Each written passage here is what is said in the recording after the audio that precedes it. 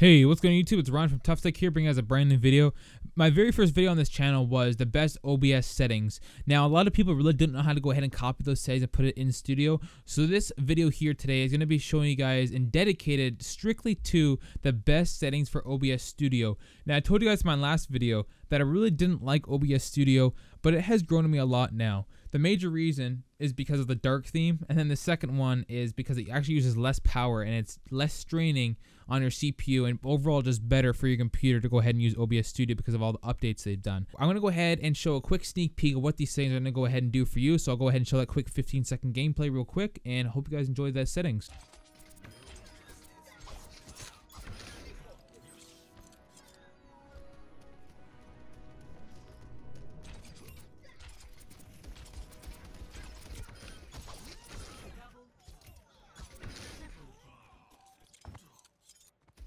Okay, so now since you guys have watched that quick video, let's get into OBS Studio.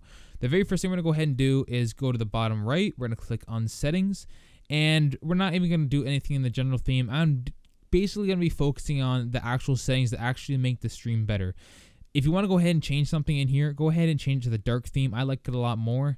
Yeah, it's very bright and it's very ugly. I like the dark theme, it's a lot better. Then if you want, go ahead and check this off. Automatically record when streaming. So when your stream's going, it's recording at the same time, so you can go ahead and get that output file. Then if you want to stop streaming at some point, but you still want to be recording, then go ahead and check this. So you can stop streaming and your recording will still go. Because when you click stop streaming it actually stops your recording right away. So if you check this off you can click stop streaming and it still will have your recording going. Next for stream nothing here that you want to go ahead and change. Just go ahead and pick your streaming service. If you don't see it there click on show all services and then you should find it there Next, for server, pick the closest one to you. I live right in between Toronto, Niagara Falls, and Canada, Ontario, so I'm not going to go ahead and pick Hong Kong, and I'm not going to go ahead and pick Japan. Those are very, very far away. I'm going to have a very bad latency to those servers. So I'm going to go ahead and pick US East, New York, and Y, because that is the closest to me. Next is your stream key. Go ahead and get this on your dashboard on Twitch or whatever the platform you're on. Go ahead and paste it here. Do not share this with anyone else, and then click apply.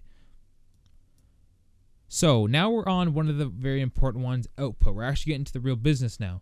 So I'm going to explain my audio settings. When I drag my clip after I'm done streaming, I get that output file, like I said, this file right here, the automatic record when streaming. I get my file and put it into Sony Vegas. If I ever want to make any stream highlights or whatever other editing program you use, and when I drag it in there, I get my game audio and people talking and all the desktop audio on one track and then on another track, I get strictly my voice. So if I want to cut the desktop audio out, I can have just the gameplay and just my voice. So how I've done this is I have the stream on audio track 1. Then for recording, I have audio track 1 and 2.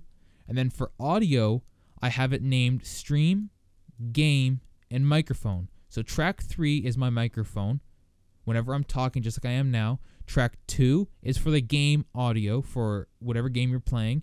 And for track one is my desktop audio. So for music, for people talking on TeamSpeak or Discord, etc., etc. So if you want it to be just like that, where you have it on separate tracks when you go ahead and put it into editing software, then go ahead and copy these settings down here. Now, also, I went ahead and changed the audio bitrate. The default, I believe, is 160. I went ahead and bumped it up to 192 and I went ahead and bumped it up for every single one. The ears really can't recognize the difference, but I want to go ahead and try and get the stream to have the best, so I'm going to put it on 192. So yet again, audio track 1 for the stream, recording 1 and 2, and for audio, go ahead and copy down just like that. And once you go ahead and drag and drop your file into Sony Vegas or whatever editing software you use, your microphone, your game, and desktop will all be on separate audio tracks. With the NVENC, you're to see a little bit more of a gamma change. It's to be a little bit darker, and when you're in darker areas, there's not to be much pixelation. But with the 264, overall, it's just to be a little bit better. But when you're in darker areas, you're to have a little bit more. It's to be even darker in the stream, and you're to have a little bit more of pixelation. So it's up to you what you want to use. I use 264 for the games I play because I was playing Call of Duty and stuff like that earlier, but now I go ahead and I'm really, really getting into Miscreate and Overwatch. So those games are a lot more bright, so I go ahead and use the X264. I do not use the rescale output. A lot of people say to go ahead and use this. I do not like to use the rescale output at all because I want my stream to be outputting no matter what. I want to be outputting 720p. That's what I like to go ahead and shoot for. Now for rate control, there's multiple ones you want to use, but the safest one is constant bitrate. So your computer, your internet, your streaming, it's gonna be constantly trying to make it make sure that it stays at 3500 or 3.5 megabits per second. So make sure you have it on constant bitrate. If you kind of want to be a little bit more I don't know, if you kind of want to risk it, you can have a variable frame rate, which is going to bump it up, up and down. So in certain areas, it's going to go ahead and have, let's say, like if it has like a lot more pixels and a lot more like stuff to load, it'll go ahead and bump the stream up maybe to 3800. But maybe if it's in like a low resolution area, I'll go ahead and bump it down to maybe 3000. So if you want to have variable frame rate, you can go ahead and do that. But Twitch recommends the constant bit rate. The higher your settings overall, so your for your video, like your base and your FPS, the higher your FPS, the higher your base, the higher your output, the higher you will need your bit rate. But the higher this bit rate is, the more people that won't be able to download it. So let's say for instance, my internet's only a 3 download. Well, I have this at 3500 upload. So someone that has a 35 I mean, a 3 download is going to have a hard time downloading my stream they're going to have to watch it in low quality. So that's why some people like to use 2800, 2500, or 3500. I like to use 3500 overall because that's what usually the default is for everyone. Next is CPU usage. To go ahead and go in depth on this. Ultra fast is going to be lower quality. So I like to keep mine on fast or I like to keep mine on faster. It's really up to you do not use any of these. Medium to placebo, you need a really good computer to go ahead and stream with this because you're going to have a lot of CPU power to go ahead and crank this out. And the thing is, if you don't really have that good of a computer, the lower you put this, the crappier your game is going to run. So let's say you usually get on Overwatch, you get 150 frames. If you go and set this maybe to placebo or very slow, now you're only going to be getting about like 40 50 frames. So just just know the lower this goes the cpu usage preset the lower this goes the better quality the stream is going to be and you're also going to need to bump up the bit rate so just keep this on fast or keep it on faster and keep the bit rate at 2800 or 3500 it's up to your computer and it's up to your internet. I would go ahead and do a speed test and you kind of know your specs. I have an i7 4790K with a GTX 970. So I can run this pretty good. So I keep it on fast or faster, depends on the game. So if I were you, I would go 2800 or 3500 bit rate, do a constant bit rate, and for your CPU usage, put it on fast or faster. For the profile, you don't need to do anything on there. For the tune, I like to keep it on animation. It overall makes the quality of the stream a little bit better, and a lot of people don't even use tunes. I like to use tunes because the overall, like when you're running really, really fast, it helps with the pixel quality. Now, a couple people do CRF equals 15. I don't even put anything in there because I have my constant bit rate, so I just leave this empty. So overall, let's go ahead and copy down these settings. I'm going to go ahead and move on to the audio. For the audio tab sample, I have 48. You can do 44.1, which I believe is the default. I like to do 48. I like to try to head in. I had to go ahead and try and bump up everything to the top notch, try and get the best I can. These are all up to you. This is all personal choice. So go ahead and pick your default. So whatever your speakers are, whatever your desktop audio is coming out of, go ahead and pick it for there. For your mic, go ahead and pick your default. I have the VoiceMeeter, which is my default. Push to talk. You don't need to do anything in here.